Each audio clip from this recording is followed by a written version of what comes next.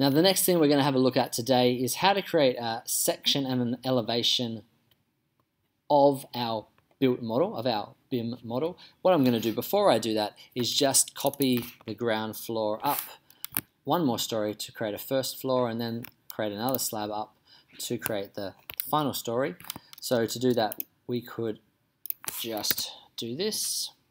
We're going to group all these walls together for now or just copy them I don't want to copy the um, veranda in this case that was on the bottom story. Paste that on the first floor. You'll see that the, um, the grid will actually automatically go on all stories. And so we definitely don't want to paste a copy of that. Now, sorry, I only want to copy the slab in this case up onto the roof. Why is it blue?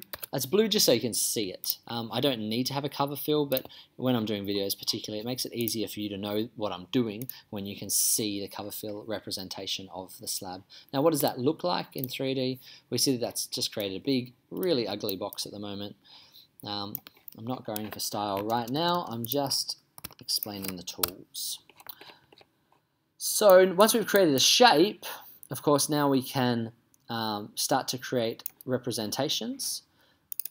Obviously, we already draw mostly in floor plans, but we need to also be able to create those other views, those sections and elevations. So we find that under our design, sorry, under our document category, our section marker, we can cut through in any orientation. Now that should go all the way through the building. Choose which direction we look and click. I'll do that again. So click once, hold shift to make it straight, click again, then choose which direction we're looking. Now that's automatically going to assign section 3, section 6. I don't know why it's assigning those particular numbers. And of course we can change those as well if we want to. I'm not going to worry too much about it now. I don't want to muck around with too many settings. I just want to explain it to you.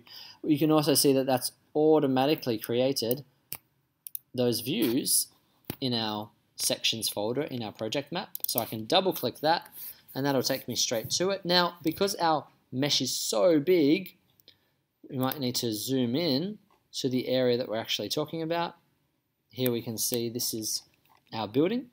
So we see the slab on the bottom, columns, slab, walls, slab, walls, slab. And you can see that they're, they're currently cutting into each other. What I haven't done is adjusted those height to reduce that down. And I also haven't added more things that I need for structure like beams. So it's very simple at the moment. We're going to add beams to this later and start to make this building look the way that it should, represent accurately. Uh, for now, it's just about representation. And of course, elevations is the same thing. We're going to use the elevation tool, and this time we're going to do it on the outside. Click, choose which direction, and I'm going to do that on all four sides. Now I want to slightly go past the edge of my building. I could go a long way past the edge of my building if I wanted to. Uh, why is that important? It's just scope of what we're going to be seeing. Elevations, again, double click. And I can of course change those names. Normally I'd want to, those names to represent north, south, east, west, or northeast, southeast, northwest, southwest. We'll talk about save views later. Um, for now, again, it's just a simple representation. So from a 3D model, we can produce 2D drawings. Now we automatically have these story levels here. Now I won't use these as my RLs. I'll actually turn those off later and I'll create my own height markers with proper RLs or AHDs or whatever you want to call them, dimensions, horizontal dimensions, which is the way that we dimension in elevations and sections. Uh, but this is how we create realistic BIM, as in editable elevations and sections. And of course, these can all be updated at any time.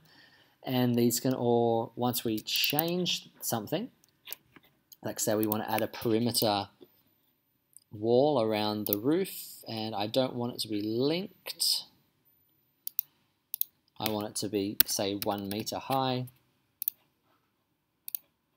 to create maybe a parapet.